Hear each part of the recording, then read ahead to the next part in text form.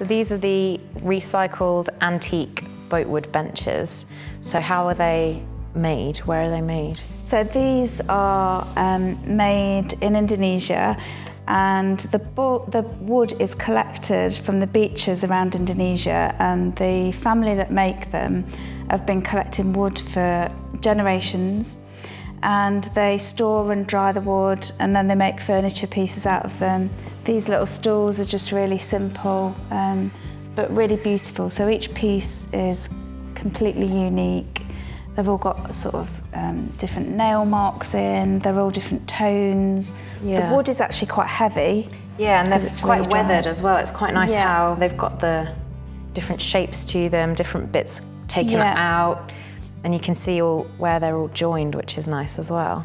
They're really useful for sitting on, for bedside tables. the end of a bed. Coffee tables, end of bed, yeah. This little stool is um, great for kids in a bathroom, for reaching up to the sink. And um, the step stools are good for reaching up into high cupboards. Yeah, or they look really nice just styled with plants yeah. or anything like that, really. Candle, or even putting a candle on yeah. it or something. Yeah, nice plant stand. Yeah. Nice for small people. Nice for small people like us.